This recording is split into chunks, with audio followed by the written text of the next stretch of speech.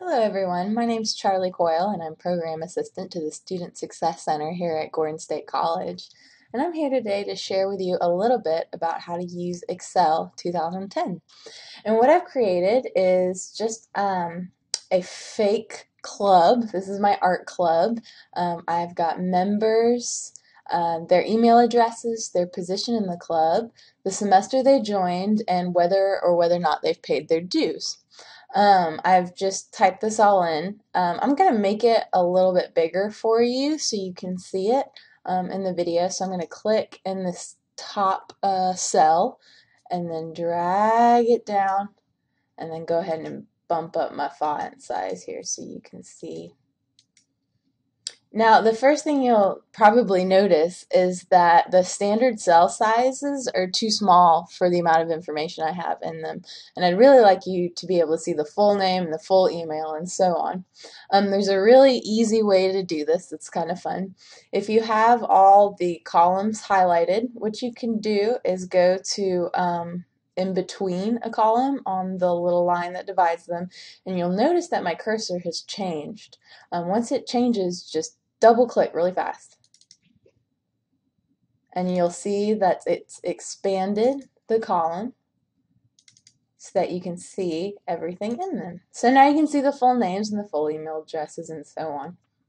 Um, this is what's called just a range. It's just information in a cell. But to use Excel's full capabilities, you really want to turn it into a table. Um, and it's really easy to turn information to a table. Just highlight what you want. Then go to Insert up here on the tab. And then just click Table. Now it's going to ask you um, if you've if what you've selected is what you want um, to become a table, and you can shift things around here if you would like to. And I want to be sure to click My Table has headers because I've already typed in the headers. So I'm going to click OK. And there we've got a table. Um, once you've created your table, as long as you uh, are clicking anywhere within it, they have some preset designs you can choose. There's a lot of them to pick from. If you hover over them, you can get a preview of what they look like. Um, I like the simple green one, so that's what I'm going to choose. Now, if you're not a big fan, you like like you like the cell colors, but you don't like the green font. I think it's a little hard to read. I'm just going to highlight everything, and on the Home tab, I'm going to come up here to this little A icon with a red bar, and this is the font color option. I'm going to click that drop down, and I'm just going to do automatic. So that's much easier to read. One of the cool things about tables is they have a great filtering system. Um, you'll notice under each header there's this little arrow right here. If I wanted to, for example, put these names in alphabetical order, my um, members, I just click this drop down and select sort A to Z. And now it's sorted everything from A to Z. Um, another neat filtering trick is that you can filter out um, things you don't want to see and only focus on the things you want to look at. So let's say I want to email everyone who hasn't paid their dues. And I could go through and just find no and copy and paste all the emails. Or I could click under the drop down for paid dues. And right here, um, under text filters, you'll see a search bar and you'll see select all, no, and yes. And what I want to do is I want to unselect everything and only click no.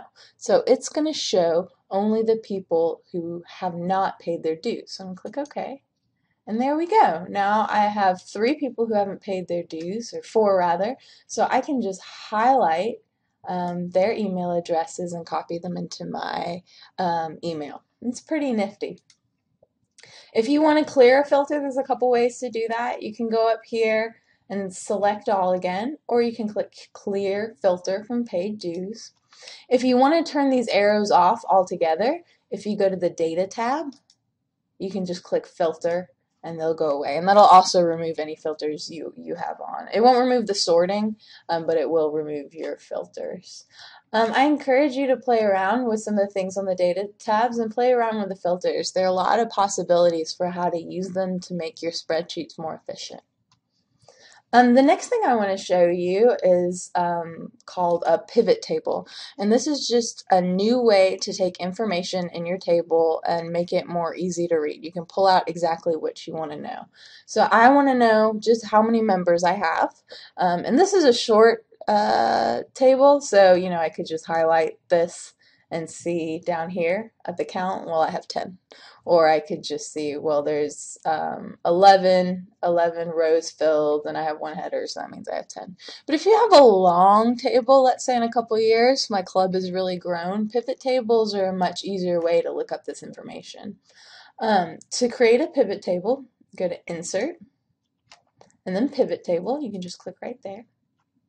Now they're going to ask you to select the table or range of information, and it's um, already selected my table, so uh, that's good. And it defaults to start a pivot table on a new worksheet, or you can put it on an existing worksheet. I'm going to just create a new one, so I'm going to click OK. So this is my blank pivot table, and you'll notice that there are um, all my fields listed right here. And then there's these different kind of categories you can use. There's report filter, column labels, row labels, and values. So I want to know how many members I have and what their positions are. Um, just numbers, I don't really want to know names. So what I'm going to do is click on position here. Gonna, when I click, I'm not going to let release. I'm just going to hold it down and drag it down to row labels. Oh, it didn't go. Let me try again. There we are.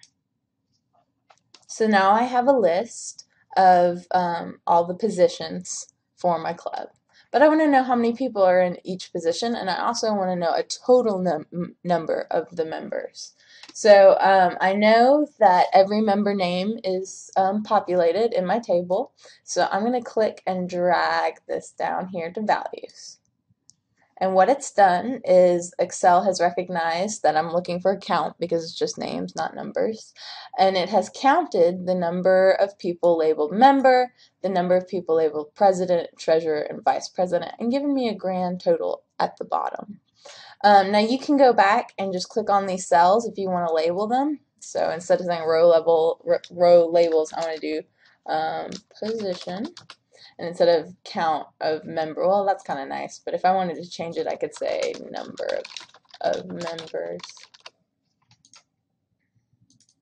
And then I just double click there to expand it like we did in the very beginning. And that is a very simple pivot table. Um, there's lots of different possibilities for how to use pivot tables. Play around with it and, and see um, what you come up with.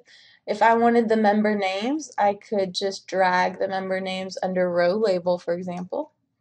And there I have the names of all my members, my president, my treasurer, my vice president. And you can expand them um, or, or not. Um, there's lots of options. It's really fun. Um, that's my brief video for today. If you have any questions on how to use tables or pivot tables, um, I'd love to hear from you. I hope to make another video about Excel soon. Have a great day.